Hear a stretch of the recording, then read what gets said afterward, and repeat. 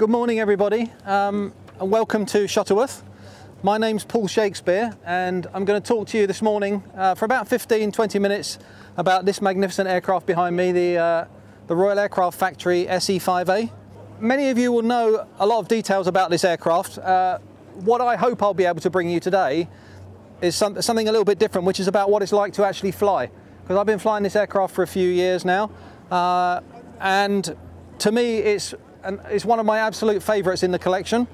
It's uh, I can see why it was as popular as it was. It was known by some as the Spitfire of World War One. Of course, it wasn't known at the time because that didn't exist. But it, later on, it became known as that. And uh, I can tell you, in comparison to its peer aircraft at the time, it's an absolutely superb aircraft to fly. Uh, great performance, very nice to handle. It's a stable aircraft. It's rock solid. So, you know, very structurally strong uh, and very fast. And all those things, plus the fact it was well armoured, uh, made it a very effective fighter. So where to start?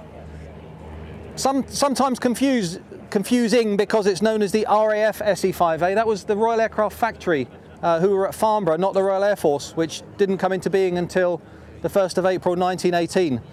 The aircraft was designed by uh, a chap, well, in fact, it was a team of people, but principally by a, a very famous designer called Henry Folland, uh, working with John Kenworthy and also one of the pilots, um, uh, Major Gooden, Major Frank Gooden. Uh, they'd, they'd learned a lot in previous years. If you have, to, you have to take it back to the time of the aircraft that were in service at the time. They were the very early World War I fighters, some of which you can see around us uh, today. Thing, but things like the BE-2C, things like the Sopwith Pup, uh, and, and, other such aircraft, the, uh, the RE-8, and, and they were pretty poor by comparison with this. You probably have heard about things like the, uh, the Fokker Scourge and, uh, and Bloody April, some of these uh, disastrous times that uh, the Royal Flying Corps were having in World War One. and so there was a need for a, a faster, better armed, easier to fly aircraft, and this was one of the solutions. Uh, so the aircraft first flew um, right at the end of uh, 1916, but the first deliveries weren't until 1917. And that was that was the that aircraft then at the time was the SE5, as opposed to this SE5A. Uh, the SE5 was powered by um, 150 horsepower geared engine, Hispano-Suiza engine, and they were very problematic. There were, there were lots of reliability and supply problems with that engine. And the aircraft wasn't particularly successful. I think there were only a handful built. There were certainly less than 100 SE5s built before they made the change to move on to the, the SE5A. Uh, the SE5A, the advent of the SE5A was a more powerful engine, uh, and the Hispano-Suiza, they, they came up with a 180 horsepower version. Uh, some of those were built under license, um, such as this aircraft here. And I should have said at the beginning, this is the world's last remaining uh, genuine SE5A. There are a number of replicas around, but this one is the last real one.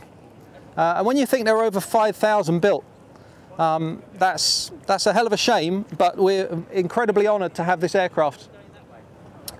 So yeah, about 5,000 built. So we moved on to the, the SE5A, which was uh, a stronger aircraft. Um, it had a bigger engine, so it had better performance. If we go back to the the prototypes, when they first flew the SE5, uh, there were a couple of structural issues with it. And the first two prototypes were lost in flying accidents.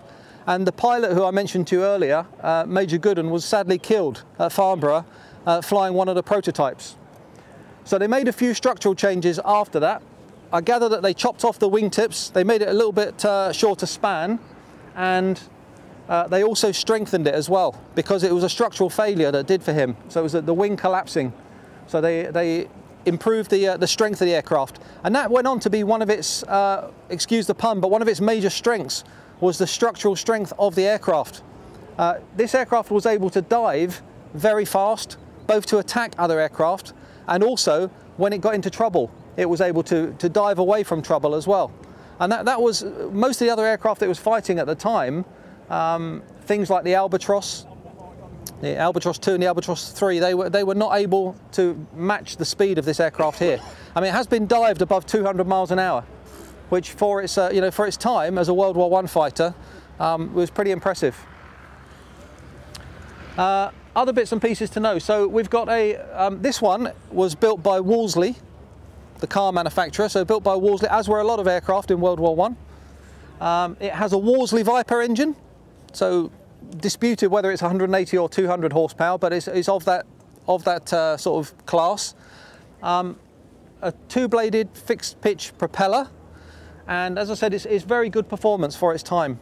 And I would say, I'll, I'll come on some of the details, but flying this aircraft, when you've flown others such as the Bristol Fighter, as I did, I flew the Bristol Fighter before I flew this, um, it, it's a world apart in terms of its handling. It's a much more sophisticated aircraft. It is, it's stable.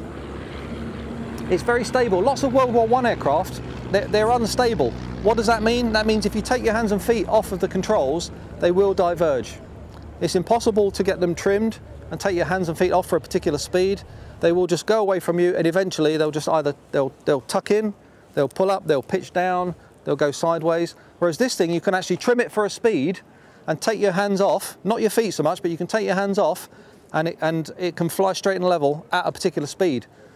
Uh, it has been said that this aircraft was designed by engineers in a factory, you know, using slide rules and equations and um, technical drawings, unlike some of the previous aircraft, which were designed by furniture and bicycle manufacturers who'd seen a picture of an aircraft somewhere threw a few bits together and said, what does this, you know, I wonder how this will work.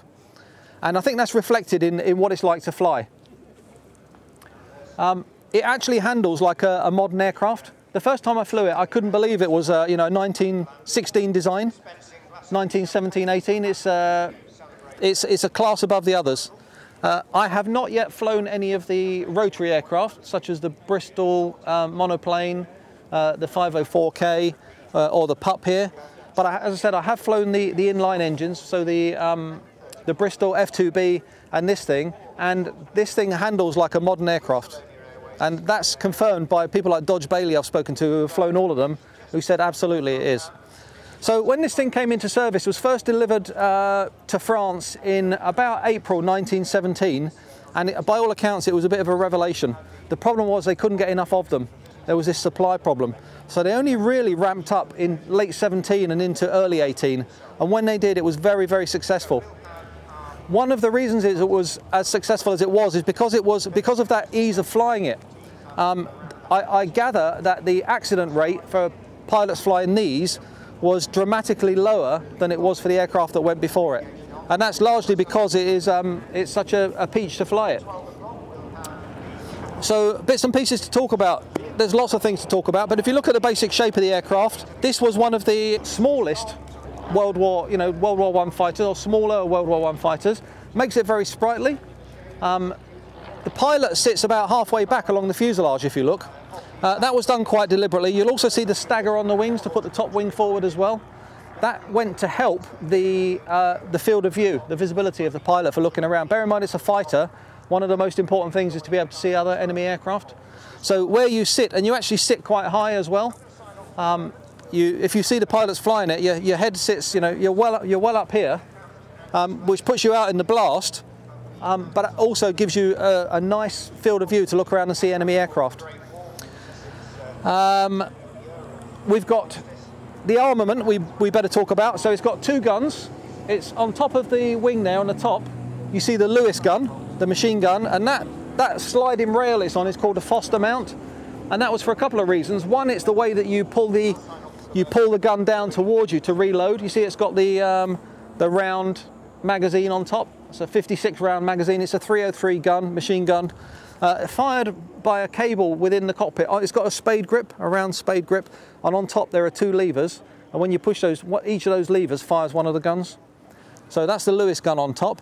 The secondary advantage that that mount gave, and if any of you know, have heard about um, Albert Ball, one of the famous World War I aces, one of the things that he was keen to do, and he'd been called down, by the way, he'd been, after his success in the Nieuports, he'd been called down as a consultant to Farnborough to advise them, and it was his opinion that they had to fit this thing with a Foster mount.